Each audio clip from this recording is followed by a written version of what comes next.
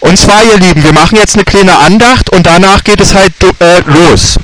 Und zwar möchte ich euch direkt zum Anfang was Kleine zeigen.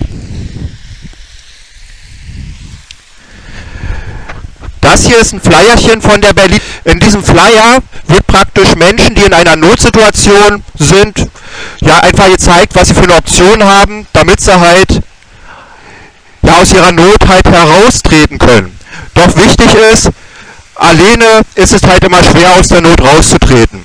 Ich kann halt nur von mir berichten, wenn, als ich damals halt am Boden war, hat mich immer die Situation sehr fertig gemacht. Ich war dann sogar teilweise in der Regungslosigkeit, sodass ich mich dann nicht mehr bewegen konnte. Und wer mir halt geholfen hat, dass ich halt wieder aus ähm, dieser, diesem, dieser Trägheit rauskomme, das war, oder Agonie, gutes, sehr gutes Wort, das war halt Jesus Christus. Und ich möchte euch jetzt einfach mal was aus der Bibel von Jesus Christus halt vorlesen. So. Und zwar für den, den es interessiert, ist es aus, aus dem Markus-Evangelium. Und es geht darum, dass halt Jesus Christus wurde halt zum Essen eingeladen.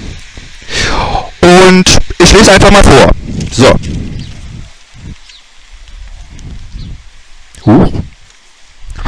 Und es geschah, als er in dessen Haus zu Tisch saß, dass auch viele Zöllner und Sünder sich mit Jesus und seinen Jüngern zu Tisch setzten, denn es waren viele, die ihm nachfolgten.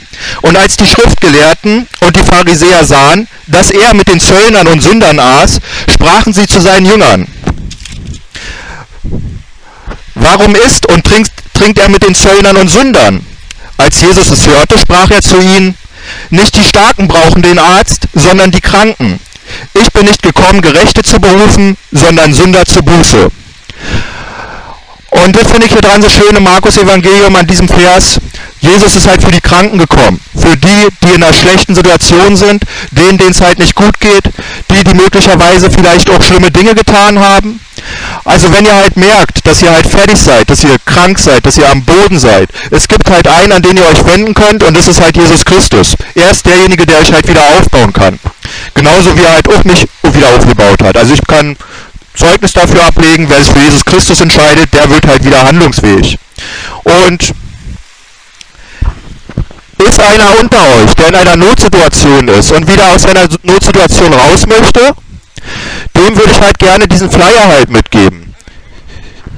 Okay, so. Möchte noch jemand den allerletzten? Okay, dann habe ich noch hier noch Heide.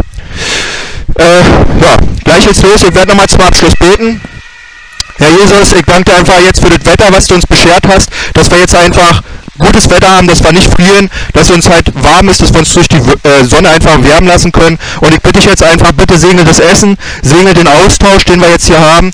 Mach, dass wir auf dich halt schauen, mach, dass in irgendeiner Weise die Gespräche drehen, dass Menschen dich halt kennenlernen, dass Menschen über dich nachdenken, dass Menschen Errettung finden, weil du bist einfach der Weg, die Wahrheit und das Leben und mach, dass die Menschen dich auch als diesen halt kennenlernen. Steh uns bei und gelobt seist du, ewiglich. Amen. Nur ein Tor strebt nach dem schnöden Mammon, strebe nach dem Weg, der Wahrheit und dem Leben. Die Wahrheit wird dich frei machen. Bestelle das Fibelheft kostenlos und versandkostenfrei auf fibelzeit.de